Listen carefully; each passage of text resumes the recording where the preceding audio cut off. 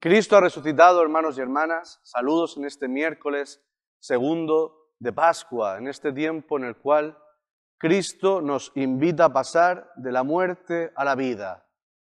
Él ha entrado en la muerte para que tú y yo experimentemos la resurrección, el cielo. Yo espero que verdaderamente vivamos como hijos de la resurrección. Esto es algo de, lo cual se habla en esta primera lectura de hoy, que está tomada del libro de los Hechos de los Apóstoles, en el que todavía vemos cómo los saduceos ¿eh? siguen persiguiendo a los apóstoles para encerrarlos, para que no se proclame esta buena noticia, y lo consiguen, los apresan y los encierran.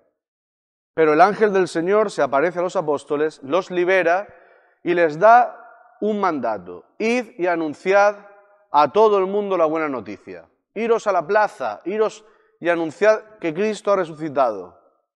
Esto es algo muy importante porque el Señor a ti y a mí también ha enviado ángeles a través de la iglesia, estoy seguro, catequistas, presbíteros, muchos ángeles, un hermano de la parroquia, para poder liberarte, para ayudarte a vivir una vida nueva, según el Evangelio, una vida de verdad, una vida del cielo.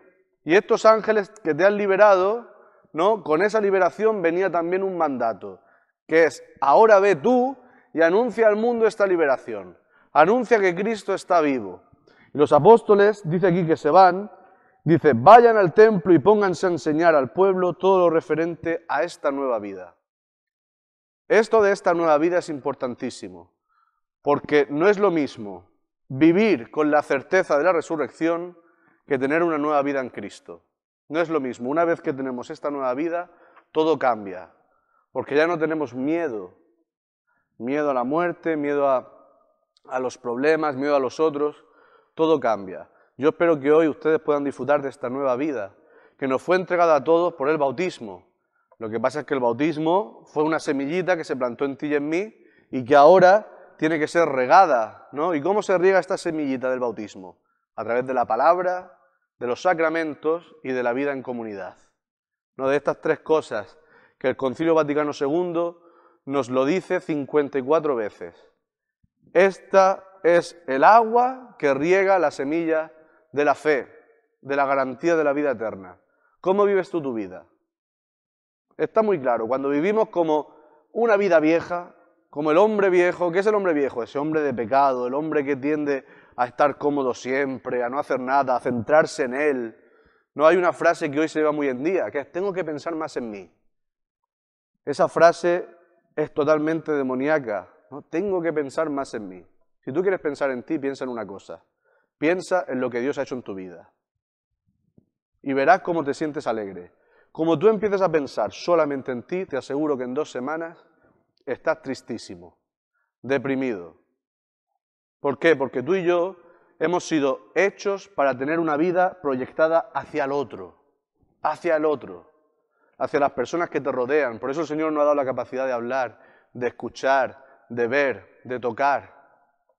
No, no nos ha hecho piedras, nos ha hecho seres que viven en constante comunicación. Y esta comunicación, como la primera lectura habla, que habla de la iglesia, del poder de la iglesia, esta comunicación nos llama a vivir en comunión, ¿eh? en unión los unos con los otros, en una unión de amor. Por eso, si tú eres un hombre nuevo, si vives esta vida nueva, podrás experimentar verdaderamente la alegría de la Pascua. Y os invito a esto, a no mirarme a mí, sino a mirar al otro. A olvidarme un poquitín de mí y a darme cuenta que hay otro delante mía que me necesita. Veréis cómo realmente experimentáis la alegría, ¿no? Dice el Salmo, si el grano de trigo no cae en tierra y muere, no da fruto. Es un misterio, ¿no? Pero este misterio ha sido revelado por Dios. Si no morimos un poquitín a nosotros mismos, no damos fruto. La misión a la que nos ha llamado el Señor no se cumple. Por eso no nos asustemos cuando a veces sufrimos un poquitín para dar vida al otro. Cristo lo ha hecho por ti y por mí, sufrió, padeció para que tú y yo tengamos vida. Atreveros a hacer la prueba, poneros al servicio del otro. Os lo digo de verdad, en este tiempo, ponte al servicio de tu hermano, de tu hermana, de tu esposo, de tu esposa, de tus hijos, del que sea, ponte al servicio del otro. Dice el Salmo 33 de hoy, haz la prueba y verás qué bueno es el Señor. Haz la prueba. Haz la prueba de tener el Espíritu de Jesucristo, de vivir con este Espíritu. Pídeselo, porque Jesucristo, como dice el Evangelio de hoy de San Juan, no ha venido a condenarte, sino ha venido a salvarte. Ha venido a darte una nueva vida. Dios no envió a su Hijo al mundo para condenar al mundo, sino para salvar al mundo. Pero el mundo se puede condenar. Y dice aquí, la causa de la condenación es esta.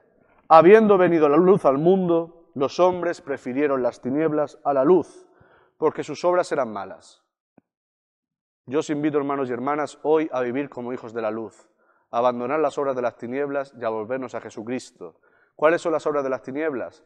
Las obras del egoísmo, las que hacemos por nosotros mismos, que muchas veces no queremos ni que se vean. ¿eh? Muchas veces pecamos, hacemos cosas mal por la espalda, escondidos. Sin embargo, el que es hijo de Dios vive contento, feliz. Dice San Agustín, ama y haz lo que quieras. El que ama no tiene miedo de ser descubierto, no tiene, que esconderse, ni mucho menos. Es realmente libre, porque tiene la alegría del cielo. Yo espero que este, en este miércoles segundo de Pascua todos podamos experimentar la salvación, la resurrección, que podamos vivir verdaderamente de la alegría que el Señor nos ha dado a través de su resurrección y que Dios os bendiga.